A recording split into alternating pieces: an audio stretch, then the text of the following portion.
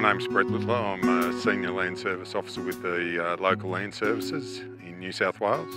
Um, today we've been out on site on a uh, property in the uh, Mudgee region looking at uh, confinement feeding setup for sheep.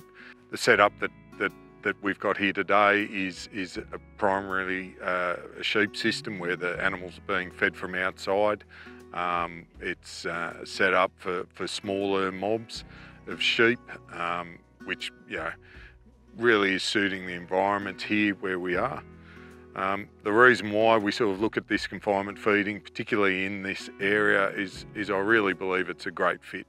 Um, in this rainfall area where we're here, we can get rain at any time of the year, uh, depending on, on the season and, and the weather events are kicking through.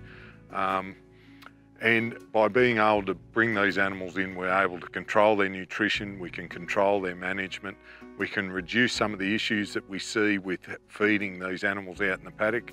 And in an environment like this, I reckon there's probably about savings roughly around about 10 to 15% by uh, bringing them in and locking them up. You, you, can feed them less because they're not trying to walk up and down hills uh, to maintain themselves. Do what works for you don't have to go to all the best and U-Butte systems. It's about adapting it into your situation, into your landscape and into your management style and also personally what's happening for you. Situation here behind me to have it where we can have all the sheep in and have less time out in the paddock and be looking after our hill country, um, you know, that's it, it, it's a no-brainer. You've got to go and seek out professional advice and the best advice. We came up with a plan of seven pens, but only started with four, but the capability to go to seven. And they're 50 metres by 25 metres with the plan to hold about 200 adult merino ewes. And the budget was 25,000 and it's come out at $30,000. So $7,500 per pen.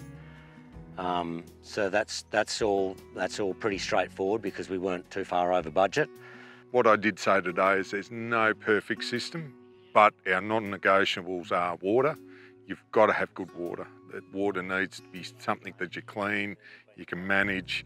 You've got to have enough storage there that's going to last a few days so if we do get an issue, it, it's not a nasty surprise. So water's number one principle, it's a non-negotiable.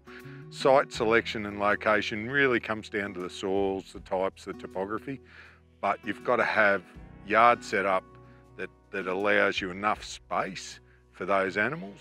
Um, how you do it, whether you feed internally, externally, uh, whether you've got um, self feeders or whether you've got a troughing, all comes down to your own personal situation. But you need to have enough space in there for those animals.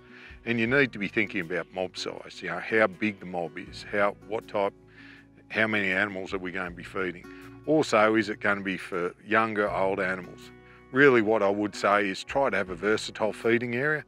We do talk about confinement feeding as a drought tool, but it also can be a tool for weaning management, early weaning um, but also something that we can use after an emergency event like a fire or a flood type situation where we can bring these animals in and, and, and use them. And in the past, uh, where I've been working with people looking at that fire type situation where a place has been burnt out, people have got that confinement feeding makes it so much easier. They've got the gear, they've got the setup. I was struggling to do it the way I'd always done it. So I thought, yep, let's give it a go. And it's still We've only just started, so I've, we've still got a lot to learn about it, but I can see that it's going to give us options here when times do get dry, and even when times aren't dry, gives us options. Um, what I would say is um, we get all types of mixes and things that people look at, you know, do what works for you. Um, here in this system here, they're currently using a, a, legume grain. It's helping, it's easier to get them on. Um, other people have gone and got, bought feed mixes and where they're looking at a total feed mix for those animals.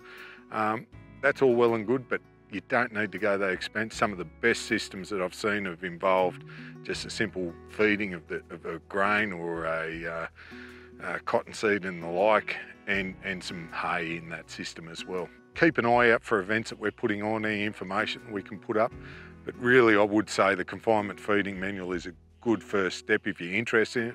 Have a look at it. There's also some other support material out online. There's some YouTube clips. There's also some webinars that myself and others have done on confinement feeding and the like. So there's a lot of information out there. It's just making that first step. More than happy to have a chat if people want to give us a call and talk about it, but also supply some of that information to them.